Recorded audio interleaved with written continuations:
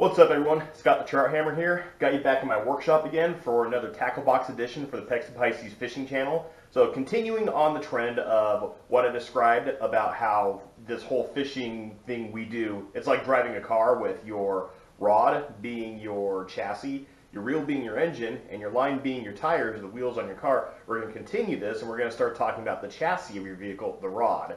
So I'm sure when you go to a sporting goods store and you get to the rod section, you see hundreds of different types of rods and probably don't know what each one does. You're probably just looking for a simple rod to go fishing with, which does work fine. But there are some things that if you want to specialize in certain types of fishing, you do need to understand to pick the best rod for you. What I want you to do is ask yourself this question, what do I want to fish? Not what fish am I trying to catch, what lure do I want to use because that determines the rod you need more than anything else. But one of my mentors here in Oregon that helped get me into big bass fishing, Steve, and he'll be featured at some point on the channel. We are going to go fishing sometime together. I love the way he put this the best. So we were talking, him, my wife, and I were at the store. We were talking about the rods that were on the shelf, and I was talking about how I wanted this rod, I wanted this rod, I wanted this rod, and she was, my wife was like, "Why do you need so many rods?" I love the way Steve put it. He asked her, "Why do you need so many shoes?" And in my mind, I'm going, "No, it's true. My wife does have a lot of shoes." And my wife says, "Because these shoes, these shoes go with this dress, these shoes go with this dress, these shoes go with that outfit." And he said, "Rods are the exact same way.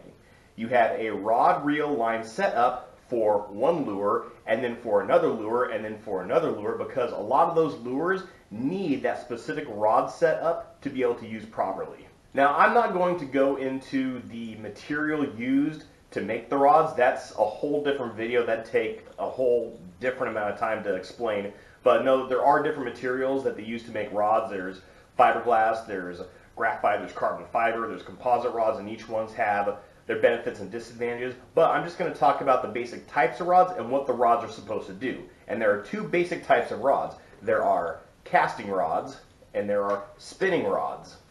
The biggest difference is a casting rod is built more for power fishing. So some you're going to fish casting rods for fish that have a lot more power, they fight harder, you're able to use bigger lures on a casting rod. Casting rods also have a lot more guides on the rod because of the build of the rod. It'll help keep the line where it needs to be on the rod to properly not overload the rod. And then spinning rods are a little more for finesse fishing. So spinning rods are the most common fishing rod out there. They're the ones that almost everyone starts out fishing on. I know I did. So fishing rods, you use lighter gear, you typically target smaller fish, not as powerful fish with spinning gear, but they do make spinning rods that can target the bigger fish like the casting rods can. And spinning rods usually have less and smaller eyelets because there's not a whole lot needed to guide the line down the rod for it to have the correct action. That being said, typically when you're shopping for a fishing rod, you want to pick a rod that has really good quality guides and has a good number of guides on the rod. You don't want to go for a cheapo rod that only has like four guides for like a seven foot rod. It's not going to have the kind of action you want. So like I said, you're picking a rod more for what you want to fish with, not what you want to fish for. And there are three key attributes that contribute together to give you casting ability with your lure. They are length, power, and action of the rod. So rods scale in length usually in three inch increments. So there's four foot rods all the way up to 13 foot rods and all of them increase in those three inch increments. So for example, my two ultralights I have here, I have a four foot six ultralight and a five foot ultralight. And they do basically the same thing, but there are a few differences, which is what I'm going to explain. So length of a rod determines your leverage of casting. Think of it mechanically. So you have a shorter rod, you're going to be able to cast a lure only so far. If you have a longer rod, your casting distance is immediately increased based on the leverage, based on the length of force you're putting into the lure when you cast. And something with the length of rod you want to take into account is the surroundings where you're going to be fishing. So, for example, this four and a half foot ultralight is great for fishing in tight spaces, like if I'm if I'm undercover, like if I'm in some bushes or under a low-hanging tree, this casts just fine because you know it doesn't have the length to uh, get snagged up. But if I'm in open water, it's not that helpful unless I only want to fish a few feet out the bank, whereas a longer rod allows me to get some more distance while casting the lure. The next attribute is the power of the rod. So the power of the rod ranges from ultralight to light to medium to medium heavy to heavy and then extra heavy. Now, the power of the rod governs two things about the rod. One, it governs your ability to handle the fish. Also, it determines how strong of line you can usually put on the rod. So when you buy a fishing rod or when you're shopping for fishing rods, they usually print the statistics of the rod on the line, or of, of the rod on the shaft of the rod that tell you its power and tell you what size of line you're supposed to use for it. So like the lighter rods, you want to use those for the smaller fish like the panfish, trout, uh, smaller bass. You want to use the heavier rods for like the bigger bass, the salmon, steelhead, anything that's going to have a lot of power. And they even make rods that specialize for carp and catfish, two of the strongest fish you can catch, even though they're not game fish. Those things have so much strength, they have to specialize rods for them. And here's something to always consider with your fishing rods. Rods are stronger than you think. You can find plenty of channels and plenty of videos on YouTube that demonstrate the power of rods, and you'd be amazed with some of the even like regular, small, uh, inexpensive rods, how much they can lift and how much how much they can endure. And the last attribute to take into account when picking a rod is the action of the rod. And the action of the rod determines how quickly the rod recovers. That means how quickly the rod can go from a loaded position to a neutral position. That also tells you where the rod tapers, like where the bend is going to begin in the rod. So an extra fast rod will bend really close to the tip, a fast rod between the tip and the middle of the rod. A moderate speed rod will bend somewhere in the middle, and a slow rod all the way down here in the back between the first guide and the handle of the rod.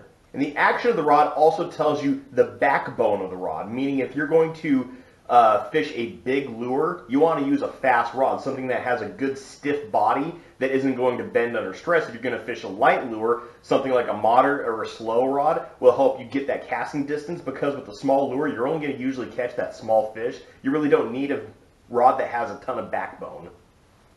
You know, for example, an ultralight almost always has a slow taper. It's going to bend all the way back here by the handle. Whereas this spinning rod here, a little bit bigger, a little bit stronger, has a fast taper, so the bend starts right between the tip and the middle of the rod. Now I am going to make videos where I break down specific lures and the rods you want to use for those lures, but that will be another video. Yeah, all three of those attributes, length, power, and action, particularly power and action, those things help determine the length of your cast, meaning how far you can cast into the water. You really don't want to make big 100 foot casts every single time. I mean, I remember when I first started fishing, my grandpa had the small pond. And it was every time I went out there, I wanted to see if I could cast the other side. Now I can cast the other side of some of the big ponds that I fish in. I don't need to because I've learned to fish in levels, fish what's in front of me first, then fish further out, then further out, then further out, unless I'm targeting specific areas. But this is this is mostly determining this is mostly to help you determine what you want to use for the lure you're using. So a big difference between spinning rods and casting rods are the guides. So spinning rods, they have a bigger first guide because the spool takes a lot wider of a loop coming through these guides, so it has that bigger first guide. But usually the rest of the guides are pretty close in size, at least especially toward the tip, and the, the last guide at the tip is almost always the same across all rods. And then with a casting rod, I've got my crankbait rod here. The first guide is not very big because the spool doesn't loop when it comes back to the reel. It just goes back and forth across a level wind guide. And casting rods usually have more guides and smaller guides. And again, that's due to specializing with different lures to target specific fish. Now, me personally, I think all of your guides are important. You need to take care of your guides. Don't put if you have a hook or a lure, don't put your hook in the guide. You know, they have loops near the handle of the rod. That's where you're supposed to put it. Or like on a casting rod, like I've got my crankbait rod there. You saw I've actually got the uh, the crankbait stuck right next to or right into the level wind of the reel. And see, they actually put that bar there for something like this, so I don't snag the lure on everything when I'm going from spot to spot. But you never want to keep your hook or your lure inside the guide. If anything, go for that shaft that connects the guide to the actual rod itself. You can put your hook or your lure in there, but you want to protect, most importantly, your first guide and your last guide. Those are the two most important guides, and these are the ones that usually get replaced the most. And as I'm sure you may well have seen, that we have two different types of handles on our rods too. We have foam handles and we have cork handles. And the difference really is personal preference. There are some rods where I prefer the, the uh, foam handle and I prefer the sort of split grip. So uh, it gives me a little more power into the cast. But the cork rods do tend to give you a lot more sensitivity. You can feel the bite through the rod a lot better on a cork rod. And if you're fishing for a long time, if you're making a lot of casts, the cork rod is a lot more friendly of something to handle. It's a lot softer. It doesn't hurt your hand as much as the foam handles do. And yeah, there you go, guys. Thanks for watching. I hope you guys found this video helpful and educational. I'm trying to balance the academic with the practical side of what I'm wanting to do with the channel. So you're going to see me a lot more frequently alternate between a fishing video and sort of a teaching video like this one and the other Tackle Box series videos I'm going to be making. But if you guys found this video helpful, do me a favor and hit that thumbs up down there. If you have any questions, leave them in the comments below. I'd be happy to answer them. Also, don't forget to subscribe. And once again, I'm Scott Trouthammer with Texas Pisces Fishing, telling you, as always, tips up, tight lines, and have fun fishing.